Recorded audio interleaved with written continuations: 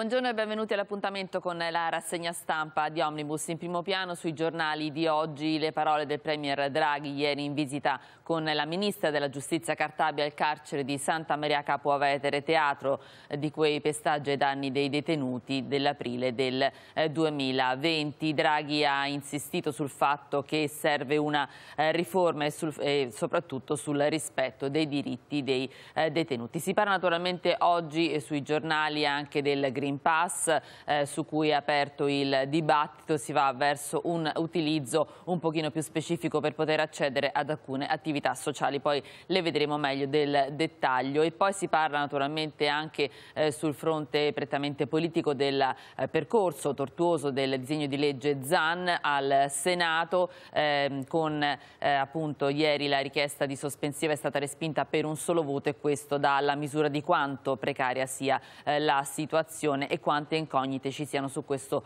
eh, percorso parlamentare. Allora, vediamo subito eh, l'apertura del Corriere della Sera. In taglio centrale il Green Pass, ora più obblighi, dati invalsi sono stati diffusi ieri quelli sulla didattica a distanza e quali sono gli effetti. Impreparato uno studente su due e poi il piano per il Green Pass sarà necessario per stadi, eventi e palestre. Si discute sui ristoranti in crescita intanto i eh, contagi. In taglio alto, eccolo qui, eh, carceri, Draghi e Cartabia contro le violenze, non dimenticheremo, serve la riforma. Ehm, il DDL Zan, la legge Zan avanti per un voto con l'ansia del PD è stata respinta appunto la richiesta di Stop. Ancora, sempre dal Corriere eh, della Sera, eh, la svolta dell'Unione Europea dal 2035 saranno, le auto saranno tutte elettriche, questo appunto per quanto eh, riguarda il progetto dell'Unione Europea. E ancora a centropagina c'è la replica di Bonucci dopo le critiche del prefetto, ieri c'era un'intervista proprio sul Corriere della Sera, Bonucci e la festa a Roma e dice era stata autorizzato, preparato il pullman, la telefonata e poi la scorta e appunto Bonucci dice che le autorità avevano consentito all'uso del bus scoperto, mentre invece ieri il prefetto aveva detto che non era così. Andiamo sulla Repubblica, basta abusi sui detenuti, cambieremo le carceri. Draghi e la Ministra della Giustizia Cartabia a Santa Maria Capovetere, gran parte della polizia rispetta i diritti, la sfida con Conte sui tempi dei processi, a breve il vertice con il Premier e poi le questioni che riguardano il lavoro con la Whirlpool che licenzia 340 persone a Napoli. Dall'Europa il via libera al Green Deal, ma Roma frena troppe tasse. Poi a centropagina la notizia di Papa Francesco che ha lasciato i gemelli dopo dieci giorni di ricovero, il diario del Papa in ospedale, niente tv, voglio eh, sobrietà. Ancora eh, in taglio basso la DAD, il disastro per la metà degli studenti che non sa l'italiano e poi Libia sia i fondi per i, guard i guardacoste, poi missione eh, europea. Ancora Cuba, le manovre dell'ultimo Castro contro le eh, proteste. Andiamo a vedere anche l'apertura della stampa, eccola qui ancora vedete la questione delle carceri che ritorna, mai più eh, violenze, Draghi non c'è giustizia dove c'è abuso e la Cartabia che dice di formare il sistema subito più eh, assunzioni. Il governo non dimentica poi l'incontro con i licenziati della Whirlpool che c'è stato appunto a margine di questa eh, visita. Ancora eh, per quanto riguarda le questioni del Green Pass eh, a cinema e eh, teatro, due italiani eh, su tre dicono di sì e dunque eh, sono favorevoli. Il messaggero, ancora il Green Pass che ritorna con le discoteche, le nuove regole dell'estate, il QR code per l'ingresso ad eventi e teatri solo dopo due dosi di vaccino, ma 17 milioni di italiani non lo avranno, i colori decisi in base ai ricoveri, dunque si va verso appunto una modifica dei parametri. Eh, le questioni che riguardano il lavoro, il Premier si impegna con gli operai, Whirlpool sono partiti i licenziamenti, l'esecutivo che sottolinea vanno tutelati i eh, lavoratori. Draghi, stop abusi, la riforma carceraria non è eh, rinviabile, il piano telecamere assunzioni e nuove eh, celle. Ancora vediamo anche il Sole 24 Ore, quotidiano economico, che apre sul Green Deal auto dal 2035 stop a diesel e a eh, benzina. La Commissione presenta il pacchetto eh, clima nel 2030 il 40% dell'energia da dalle rinnovabili. È ancora in arrivo anche dazi sull'import da paesi che hanno leggi meno eh, severe. Um, il Fatto Quotidiano, eccolo qui l'apertura è sulla, um, sulla, giustizia, la Cartabia è copiata dal processo breve di uh, Berlusconi, somiglia ma peggio a, uh, al salvaladri del 2019. Si è svegliata la NM, scrive il Fatto Quotidiano, quando le stesse cose le faceva Berlusconi, tuoni fulmini da PD e Repubblica, ora per il sì eh, Santa Lucia, soluzioni dannose e inaccettabili sul piano eh, costituzionale. Eh, diamo ancora un'occhiata al foglio, eccolo qui da cui vi segnalo a firma di Claudio Cerasa, Orlando sul Green Pass sia il modello Macron, l'idea francese, la nuova fase della pandemia, i licenziamenti nella normalità, le modifiche al reddito di cittadinanza e la rivoluzione garantista di Draghi e Cartabia, tutto questo in questa intervista ad Orlando eh, sul foglio. Ci fermiamo per qualche minuto di pubblicità e riprendiamo subito dopo con la rassegna stampa.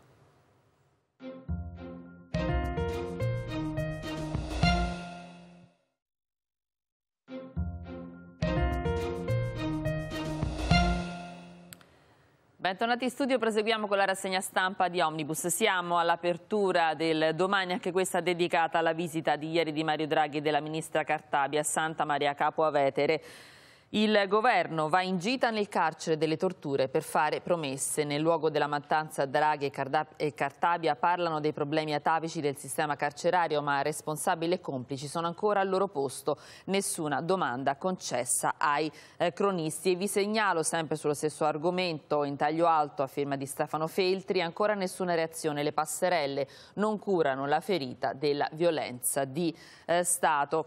Vediamo anche il giornale Zan, mezzo PD contro Letta, guerriglia in Parlamento, il disegno di legge sull'omofobia impantanato al primo voto, la linea dura del segretario non piace ai Dem, Renzi prepara il raid, Ronzulli, Ronzulli di eh, Ronzulli dice serve un accordo e poi vi segnalo anche questa intervista a Marina Berlusconi, mio padre di nuovo centrale, usi un risarcimento per le ingiustizie.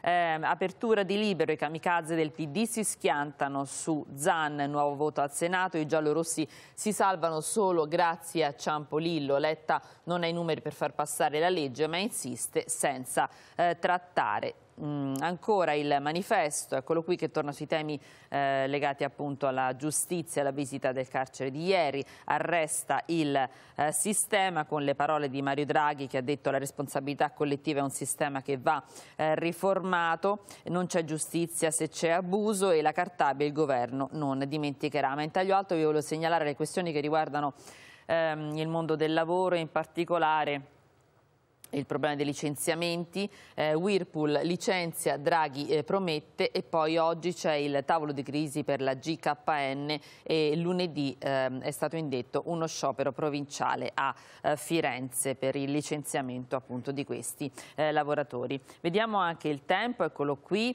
ehm, Zinga regala case a chi occupa, il Lazio premia gli abusivi, la Regione garantisce abitazione agli inquilini che da 16 anni vivono gratis a Piazza del eh, Popolo. Ancora vediamo anche l'apertura della verità, tutti gli investimenti del Vaticano contrari alla morale della eh, Chiesa, eh, del mezzo miliardo impiegato dalla segreteria di Stato negli ultimi anni almeno 105 milioni sono finiti in violazione del codice di diritto canonico in imprese accusate di corruzione e inquinamento. Duro il promotore di giustizia, logiche dettate dall'avidità.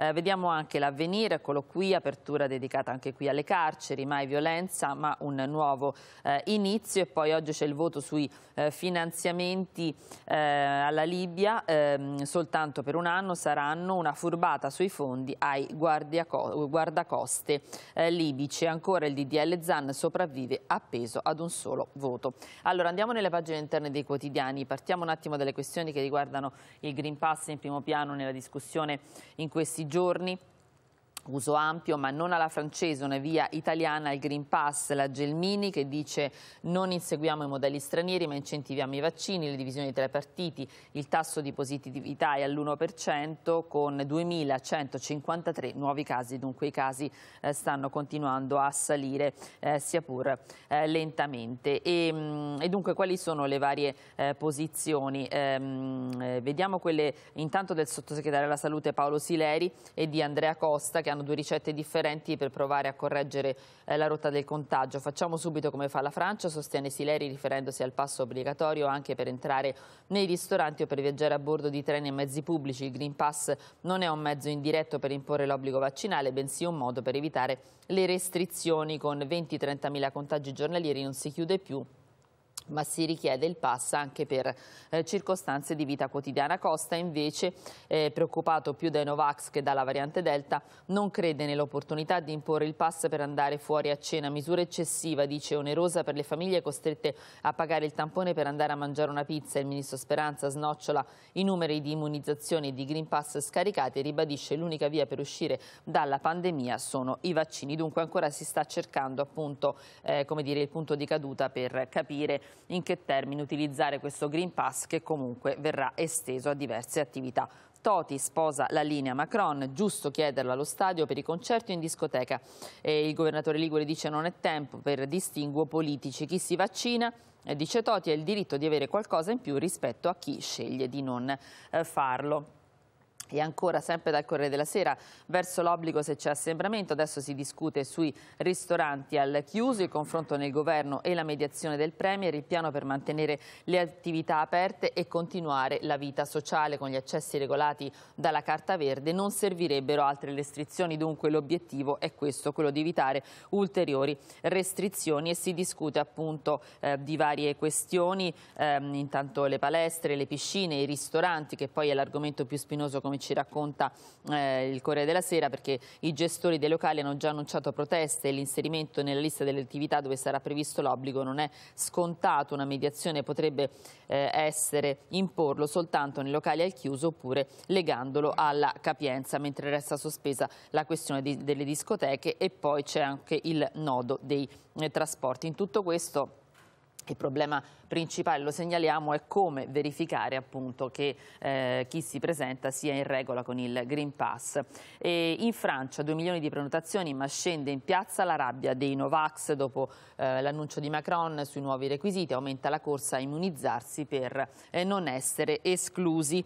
E, mh, presto con il certificato anche qui in Italia, ne parla il fisico eh, Roberto Battiston, eh, o i casi dice raddoppieranno, strumento che incentiva a eh, vaccinarsi e sottolinea che la variante Delta è più contagiosa del 60% rispetto alla Alfa. Il certificato è una eh, tutela in sostanza, è uno strumento, dice efficace e ragionevole che convincerebbe tante persone esitanti o che hanno paura a immunizzarsi con il rischio di non potersi più muovere da casa. Ci sono maniere più forti come l'obbligo, il pass è il più adatto perché a tutela dell'individuo. Il messaggio è non ti vogliamo proteggere, noi ti vogliamo proteggere dal rischio di contagio in un certo senso se rifiuti, rifiuti la doppia dose ti isoliamo dalla società, ti ehm, racchiudiamo in una sorta di microzona rossa nel tuo esclusivo interesse. Questa è la posizione di questo eh, fisico.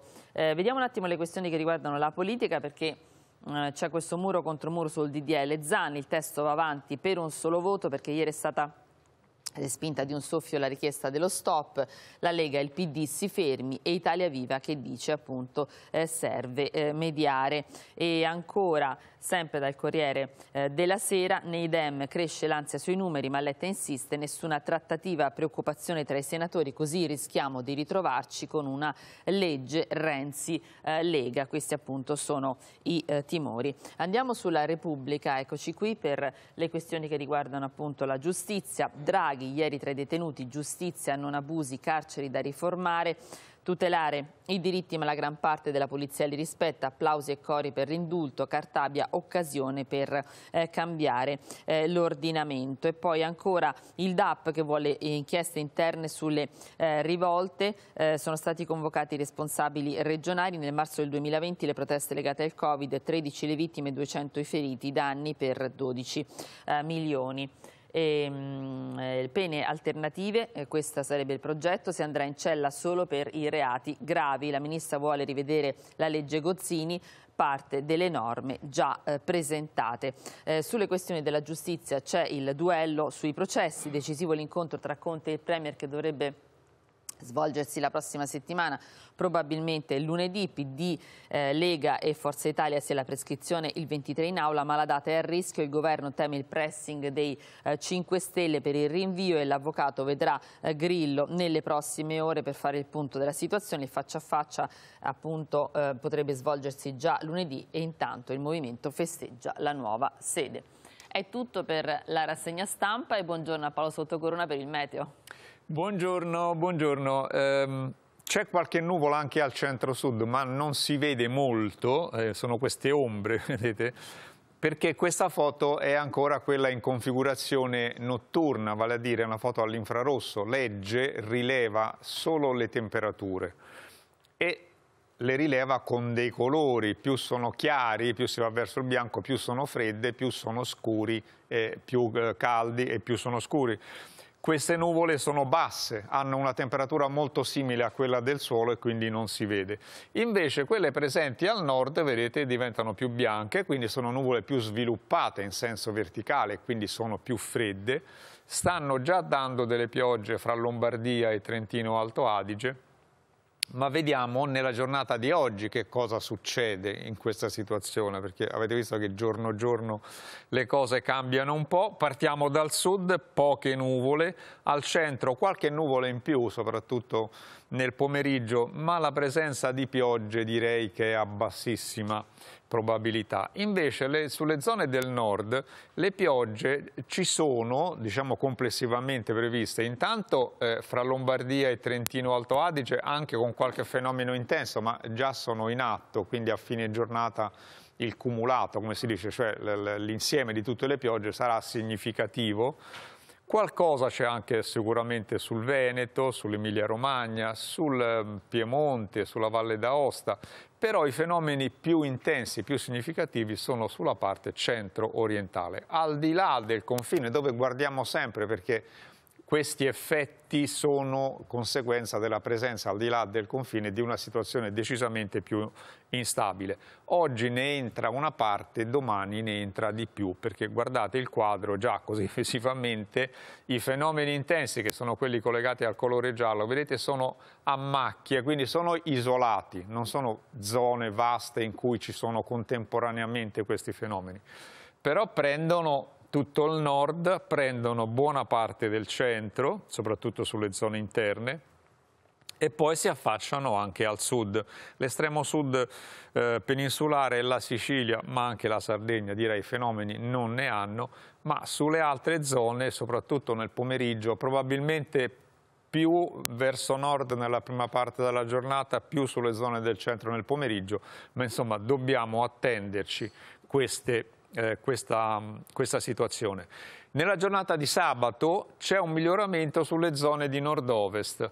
Sulle altre zone settentrionali, centrali e, guardate, meridionali, arrivano le piogge anche lì, localmente intense. Vedete questi, questi colori fra il giallo e il rosso danno, eh, sono, corrispondono a forti quantità di pioggia, fortissime quantità di pioggia il maltempo poi vedete che si sposta sulla, sulla, penisola balcanica, poco o nulla sulle isole, insomma è un, è un cambio di passo direi abbastanza, abbastanza, deciso.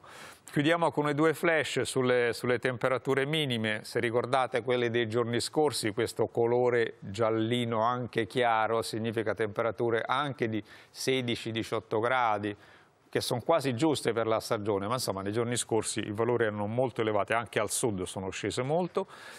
Eh, il moto ondoso eh, dei mari, mh, diciamo a parte l'Adriatico settentrionale, parte del Tirreno, che sono abbastanza tranquilli, mossi o molto mossi, localmente agitati mari occidentali, ma un po' di moto ondoso c'è anche sui bacini centro-meridionali, sullo Ionio, insomma col tempo un po' così instabile c'è anche un, un, certo movimento d'aria, come si dice, ci sono i venti e dove ci sono i venti c'è il moto ondoso. Se volete ci vediamo alle 7.55, adesso pubblicità e poi la prima edizione del nostro telegiornale con Emanuela Garulli. A più tardi.